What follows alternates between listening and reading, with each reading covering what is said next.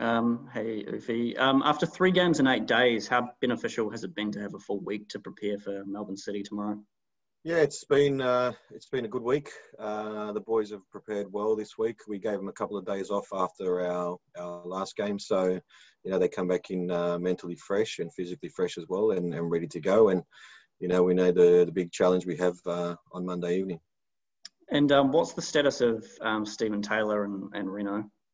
Uh, Tails won't be available for the game uh, on Monday evening. Uh, at, at, this stage, Reno is touch and go, but I, I, believe highly unlikely to be available as well.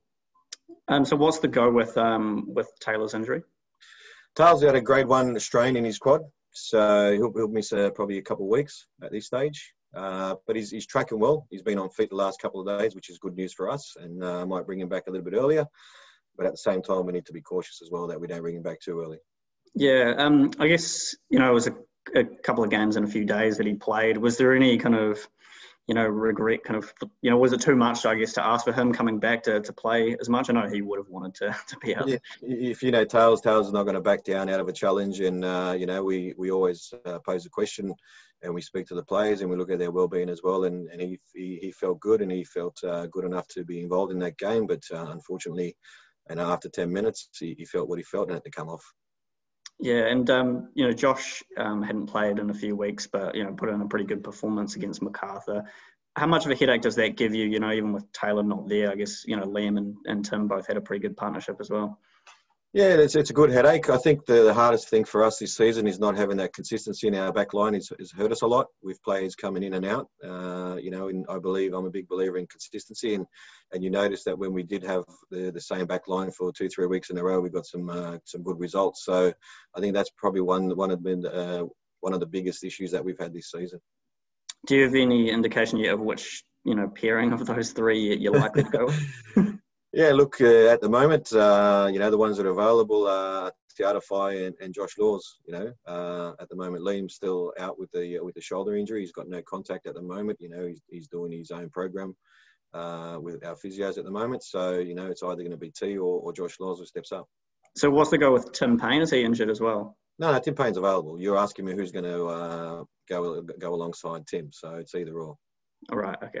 Okay. I didn't realize he was locked into the start as well. Well, Tim, um, Tim, Tim's done a done a. I think he's done a fantastic job. You know, he's uh, he's. Uh, I don't think. You know, he's played as a central defender before, but I still think he's a he's a good uh, right fullback. He's explosive. He can go up and down up and down that line. And but at this at this stage, we've had to use him as a central defender with uh, you know the the injuries that we've had.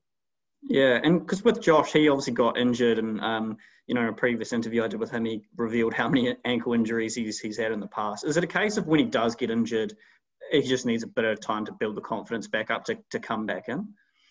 Yeah, it's, it's not, not, I don't think it's just the confidence, also strengthening that ankle at times as well. But uh, I think his ankles uh, held up well. And like you said, he, he played a decent uh, 80 minutes the other day against Macarthur. And, and, you know, we've got another session today and we'll see how they both go and we'll make a decision for, for tomorrow's game. Yeah, and looking back on the last game, you know, it was just kind of, I guess, one, you know, one moment of switching off or one kind of slip up that kind of ended up being a, a defeat. How crucial was it to, you know, make sure you I guess are you in a position where you can't afford to switch off against a team like Melbourne City with Maclaren and Craig? No. No, you can't. They're, for me, even though they lost their last game against Western United, I think they're the they're the informed team uh, currently within the competition, and uh, you know they're, they're a very fluid team. They play some really good attacking football, and they've got some really good players that can hurt you. So for us, I, I think it's a it's a great opportunity for our players and a great challenge to to step up and show, and showcase themselves and show what they can actually do. Because I still believe we're a great footballing team. Uh, I still believe we played some really good football this season at times. But uh, like I said, we the inconsistency of, of players being in and out has hurt us this season. Cool, that's everything I need. Cheers for that. Thank you. Hey, Uffy, just a quick one from me, mate. Um, how important is this game in the context of your season? With finals still, you know, in the hunt, um, in, in, the finals hunt, how important is a win tomorrow night? Oh, very important. I think uh, there's 34 points still up for grabs.